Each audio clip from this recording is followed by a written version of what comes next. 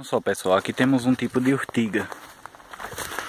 na verdade é, o, é, conhecido como urtiga, mas é, mais especificamente como cansanção.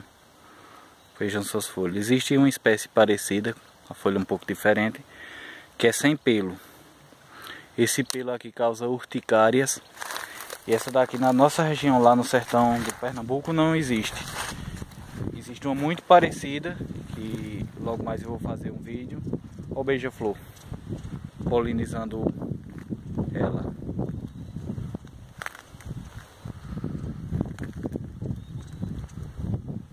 Veja só o beija-flor, vamos ver se eu consigo captar ele.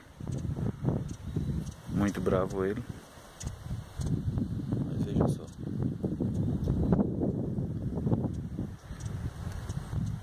Dando um show aqui.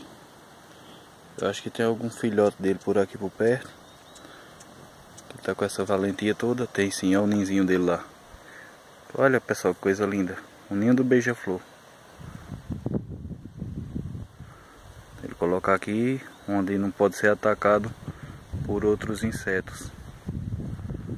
Eu sabia que existia alguma coisa, como ele tá bravo. Ele tá bravo, porque eu tô aqui próximo ao ninho dele. Um tesourinho veio também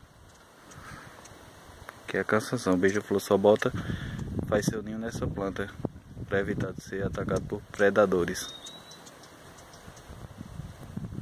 É isso aí, pessoal. Vim filmar outra coisa. Achei os beija-flor. Valeu.